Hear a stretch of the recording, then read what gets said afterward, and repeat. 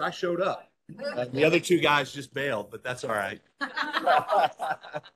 there is a lot going on uh, in the county.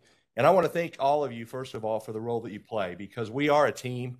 I love sports. I love football. We talk about a huddle, and that's exactly what a huddle is. You get everybody together to discuss what's going to happen and how you become successful in that next play. Every player in that huddle has a role, and it's not the same role. But if you do your job to the very best of your ability, the team has success. Um, I grew up playing football in my life, and most of it was an offensive lineman who never gets any credit for anything. But you know what? When the team scores, everybody's happy. And that's part of the role. And that's what I like about huddle and the idea of a huddle and the idea of teamwork is that each of you knows what your role is. And when you function at your very, very best, we function best as a team and everybody's happy. We have great success. So, anyway, I just want to start off with saying thank you for that.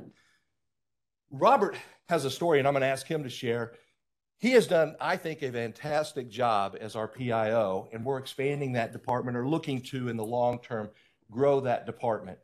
We have found uh, some of the things that he does has paid great dividends for us, and I wanted him to share the story on the uh, the latest video he did with regards to hiring. So, Robert, you might tell us what yes, went on there. Yeah. Good morning. Uh, so, I brought this uh, to the attention of the office holders at their meeting. Uh, if you'll notice on our Facebook feed, obviously I do some posts that are just, you know, fun posts or something that's going on in the county. But lately we've been doing a lot of job related or hiring posts. And so uh, in building operations, uh, Gary Rowe was having a tough time hiring a mechanic. And so he had one of our PM mechanics named Andrew Darst. He, um, the thought was that, you know, instead of just doing like a standard graphic, says make $16 an hour. It's Monday through Friday. That if you kind of made a video that said, why, how great the county is to work for. Uh, here's exactly what you're going to be doing. All of, he, I even had him go and like change the filter out. And I'll, uh, I'll, I'll kind of just play it while, while I'm talking. But so I just put together, it's real short. It's like a minute long. I'll keep the volume low. But the thought was that someone would see this and maybe a little more interested because they had they had done it for like months and not even gotten a single application. So I'm not saying that this helped them hire someone, but they did have several applicants uh, apply for it uh, last week.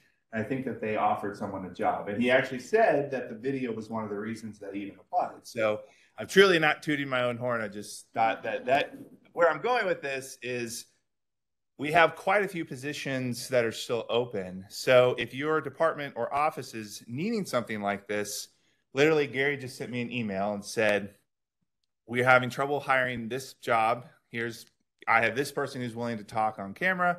We literally shot it in like 30 minutes and I put it together and it helped him hire someone. So if you want to do something like that, you can just send me an email and uh, another thing that we can do is we have about $7,500 annually to boost ads, which is basically just expands your reach on Facebook. That's all it does. And we have about 7,000 people who subscribe to Greene County, but if you boost it, it's roughly like 500 uh, for every $50 you spend, you get 500 to 2,000 people to look at it per day. And you can set that for like two weeks or however you want or however long you want. So the, the, the idea would be that you can get, you know, triple our audience, uh, you know, reach out there just for 50 bucks. So I do think boosting did help. It got only about 3,000 views, but it was enough to get someone to apply for it. So that, um, you know, I know like the prosecutor's office right now has a bunch of jobs. And so what HR will typically do is just give me a, a list of jobs and I'll do my best to make it look good. But if you want to kind of spice it up a little bit and make it a little more interesting, this is totally something we can do. And so, um, you know, the commission's idea with giving me some of this money was to expand our just our Facebook page. But I think that this is an indirect benefit of that. Um, even if we don't get engagements and likes and all the analytic buzzwords, you are getting an indirect benefit of getting more applicants. So if that's something that you're interested in, that's just one example of uh, a hiring thing that we can do.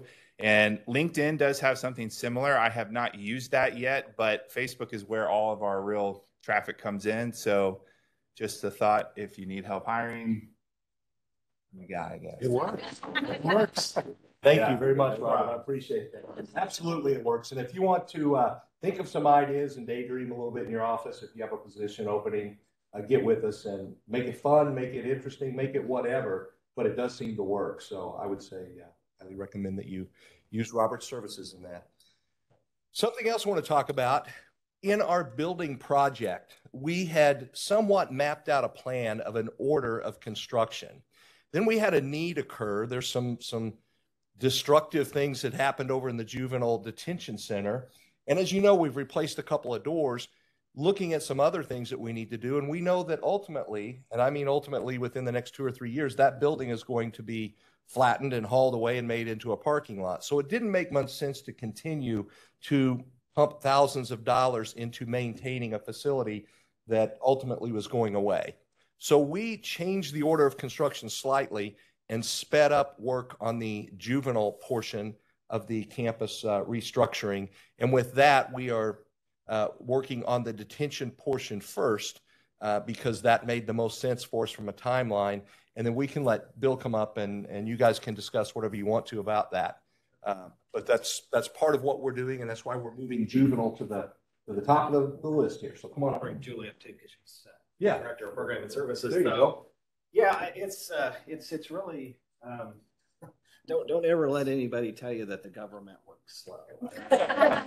So I will tell you that, um, three weeks ago, this past weekend, um, we had quite an incident in detention and it, it, really was just the, uh, kind of a culmination of, of a lot of things that had been developing over a long time. Um, you know, that the facility's 30 years old. Um, the doors that were put in to, um, to keep the kiddos in their room were commercial grade. They weren't really jail grade. Um, the locks were going on them. Uh, it's just an old facility. And um, couple that with the fact that we are seeing, um, I guess I'll call it a higher caliber of kid, a higher needs kid. Um, you know, we're dealing with uh, with 17 year olds and 18 year olds now. Um, at one point, we had seven youth in detention. Three of them had murder charges. All of them had weapons charges. Um, these kids are not respectful. They're, they they don't like to listen. Not every kid in detention is that way, um, to be sure. But but we are seeing a, a, tougher youth handle. And uh, when kids can kick out their doors, um, it, it just creates a risk for the other kids that are in the center um, and, and our staff. Um, and it, was- it's just unsustainable. And as you know, as Rusty said, you know, it, it didn't make sense to to just kind of keep putting band-aids or you know on a on a gaping wound. So uh, three weeks ago, Monday, called Chris, and uh, the next thing I know, um, we're in uh, APOD, uh, the jail. Um, and uh, making some pretty significant changes to it. So, I mean, literally, uh, in three weeks, um, we are pretty close to transforming it into a workable detention center. Um, when I say workable, there's there's a lot of work to be done yet still. Um, you know, our goal is to make this detention center secure, but we also want to make sure that it's trauma informed. We are dealing with kids, um, after all, um, and uh, you know, we don't want to treat kids um, like little little prisoners. So, but um, you know, if you were to go over there and see it, and hopefully everybody will have a chance at some point in time as we get a little closer to to move it in there, that you can go over and look at it. Um, stairways have been cut out of there, plexiglass has been put up, walls have been put up, um, painting has been done, trauma informed colors. Uh, we're getting ready to put a classroom in there. Uh, my understanding is is that we're going to be able to also utilize BPOD, which is immediately adjacent to that um, in the longer term to to make you know a gymnasium and other spaces that we're going to need. So it has been a fast and furious three weeks um, just to get the physical plant ready. Um, ideally, I think the, the move-in date is is next week sometime. Uh, we've obviously got to you know adjust our policies and procedures in terms of how staff are going to handle the kids, but. I mean, I, I just got to, you know, commend the, the commission and Kevin and, and Rob and their crews just for, uh, I mean, the speed at which this this has been has been accomplished. Good, and, you know, it really is uh, our director of youth and family programming and uh, detention falls under her uh, her purview. So, Yes, so um, the first thing I'll start with is my personal mission to rename that building to the new facility. The old Um, jail. Please do not call it the old jail. It is really, really important for kids who are in detention to be treated like children, um, even when they're very strong. So the importance of a juvenile detention center is to keep the community safe and to keep the kids safe and make sure they show up at hearings. Kids are never sentenced to detention.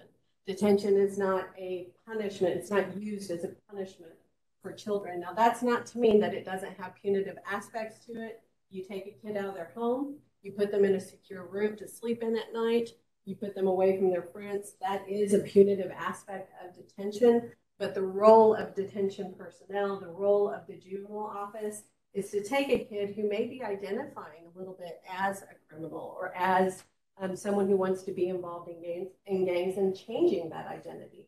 So the space is super important. Environment is very, very important in how that change occurs. And so um, I'm very, very thankful for the work that's been done thus far and the work that will be done to take this um, new facility and create an environment where kids can hopefully be helped. Um, these are kids who have been through a lot of systems their whole life. Um, we take it really, really personal and really, really um, put a lot of emphasis on the value of the work that we do for these kids. They're really important to us. And so please, if you hear anyone say old jail, say. Facility. New facility. There you That would go. be Awesome, There you thank go. you. Thank you. Mhm. Yes, and it's already when it gets completed, it's not going to feel like a jail. I, people won't be able to walk through there and say, "Oh, this was the old jail." If they didn't know, they won't know. Um, but that the the issues that we're having really with the, the some of the tougher kids and the facilities has caused that to be priority one. So as we get the detention portion moved over there, it just makes sense to go ahead and move the rest of of juvenile into that building as soon as possible. We'll also, by the way, have a, a, a private entrance. We'll have an entrance for the juvenile portion that it doesn't feel like you're going to court or you're going to jail. Uh, we'll have multiple en- entrances, but um, I think it's important to understand that people who are there to see their kids, who are there for family issues and that sort of thing, will have an entrance that doesn't feel like they're checking into a jail or to a courtroom. So it will all function and flow very, very well. We just put it to the top of the list for the reasons that we discussed, and we think it makes sense. And I think all of you guys really for the applause. Uh, it's a pat on the back to everybody here who's pitched in, because I can tell you this: when we made the call to get it ready now, and just and told the reason behind that, everybody dropped what they were doing and and went to lightning speed to make this happen. So you're right. In three weeks, to turn it from an empty, vacant old jail into a really a, it's very nice. It's clean. It looks good. Uh, new detention for facility for youth. That is breakneck speed, especially really in any any place, especially for government. So we're proud of that, and thank you for all you guys have done. Yeah, Just add, please, pat on the back, anybody in cleaning and maintenance and building maintenance. I mean, it has been a team effort and they have been absolutely amazing. That's great. speed in which they Yeah. And you see, that's what that's the kind of thing that happens when you're working on a team that um, truly cares about the mission and cares about one another. When one team is in a crisis mode, everybody pitches in. Everybody that can does all that they can to make things better, and uh, and, and did it at breakneck speed. So, really, I think it's a testament to everybody in this room and all of the departments and the leadership that you guys show to your teams to uh, to rally behind a team member that's that's in a crisis mode and and to pull them out of it. So thank you and thank you for what you guys do. I know it's not an easy job, but um, we're we're we're glad for what you do and it helps our community a great deal. well, we certainly appreciate that. Uh, did anybody else have any other questions about what's going on with uh, in the commission office or how things are, are moving? Well, you guys are awesome, and uh, thank you for all that you do. I sincerely mean that. Uh, really, everybody in our office feels the same way. It's a great team, great to be a part of it, and um, I'm just thankful that I have have an opportunity to play a role in that. So, thanks, guys. Appreciate it. Y'all have a great day.